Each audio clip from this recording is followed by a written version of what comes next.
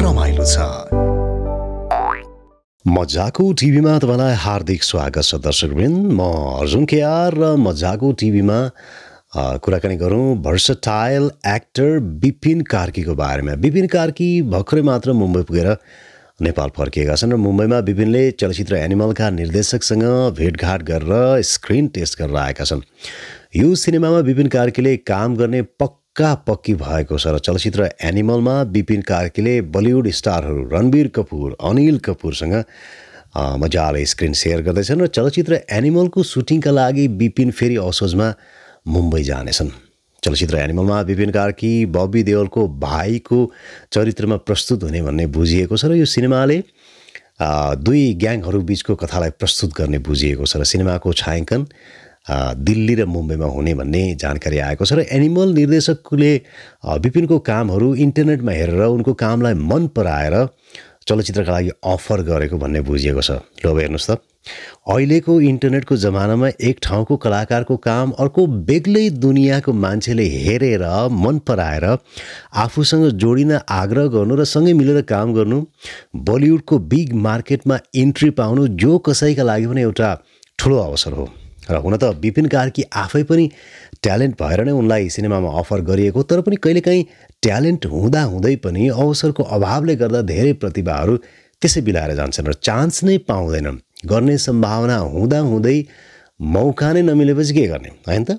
तर यसपालि भने विपिन कार्कीलाई ठुलो मौका मिलेको छ कि बलिउड फिल्म इन्डस्ट्रीमा केही गरेर देखाउनको लागि उनलाई ठुलो मौका छ र उनले यो सिनेमामा राम्रो काम गरे भने उनको बलिउडको यात्रा निकै लामो जान सक्ने अनुमान धेरै लगाइरहेका छन्।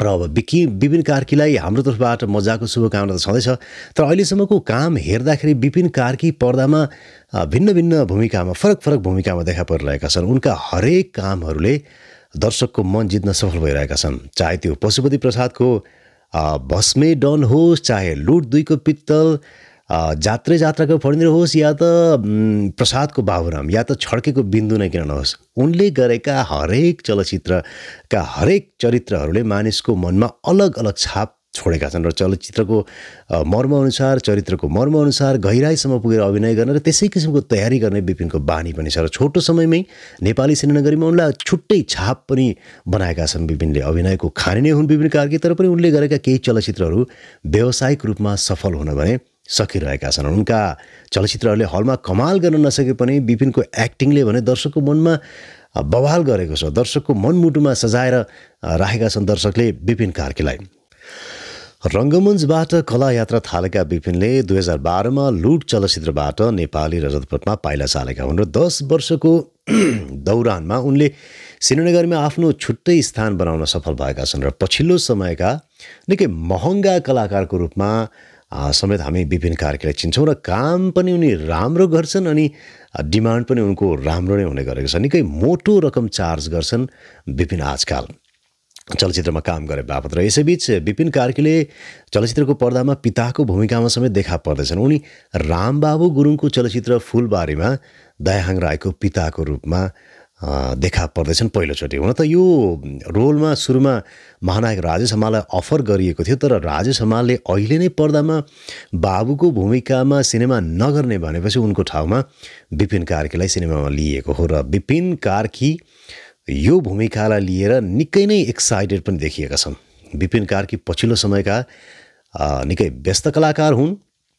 फुलबारीपछि विपिनको विपिनले नयनराज पाण्डेको उपन्यासमा आधारित रहेको चलचित्र लुमा पनि काम गर्ने बताइएको छ र उनको हातमा टन्नै फिल्मका स्क्रिप्टहरू यति बेला छन्। स्क्रिप्टहरू धेरै आए पनि क्यारेक्टर चित्त बुझेन भने विपिनले जति नै पैसा दिए पनि फिल्ममा काम गर्न इन्कार गर्दै आइरहेका छन्। यो विपिनको खासियत पनि र पछिल्लो समय विपिन लफडामा पनि मुछिएका छन्। उनले गर्ने भनिएको चलचित्र प्रसाद दुई सुटिङ गर्न स्पटमा पुगे पनि निर्माण टिम र कलाकार बिच लफडा भएपछि सुटिङ नगरी टोली फर्किएको थियो र निर्माण कम्पनी सुभाष थापा प्रोडक्सनले निर्माता सङ्घमा विपिनको कारणले गर्दा नै सिनेमालाई आर्थिक क्षति पुगेको भन्दै विपिन विरुद्ध उजुरी पनि दिएको छ। र सङ्घले आगामी साता विपिनलाई छलफलमा बोलाएको पनि छ। र यता विपिन भने आफू सुटिङ सेटमा फर्कन तयार रहेको भनेर बताउँछन् र छलफल गरेर सिनेमाको सुटिङ सुचारू गर्नको लागि उनी एकदमै सकारात्मक पनि देखिएका छन्। जे होस् मिलेर जानुमा नै सबैको भलाइ हुन्छ। र हामी दर्शकहरू पनि एक किसिमले भन्यो भने प्रसाद दुईमा विपिन कार्की र नम्रता श्रेष्ठको जोडीलाई नै फेरि पनि हेर्नको लागि तयार छौँ। कि कसो होइन त? तर तपाईँ दर्शकलाई चाहिँ विपिन कार्कीको अभिनय गरेका उनले अभिनय गरेका सिनेमाहरूमध्ये कुन सिनेमा सबैभन्दा बढी मनपर्छ? तपाईँलाई मनपर्ने सिनेमाको नाम के हो? कमेन्ट बक्समा तपाईँले मजाले आफ्नो प्रतिक्रिया दिन सक्नुहुनेछ।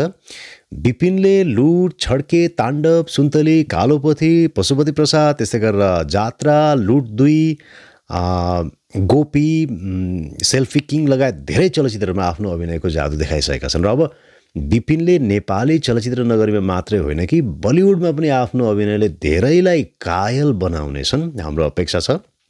विपिन कार्कीले गर्न लागेको बलिउड सिनेमा एनिमललाई मजाको शुभकामना। एनिमलमा हाम्रो आफ्नै विपिनको भूमिका एकदमै दामी होस् संसारभर सबैको मन जितोस् मजाको शुभकामना छ विपिन कार्कीलाई। यस्तै मजाको भिडियोहरू हेर्नको लागि आजै सब्सक्राइब गर्नुहोस् मजाको टिभी। रमाइलो छ।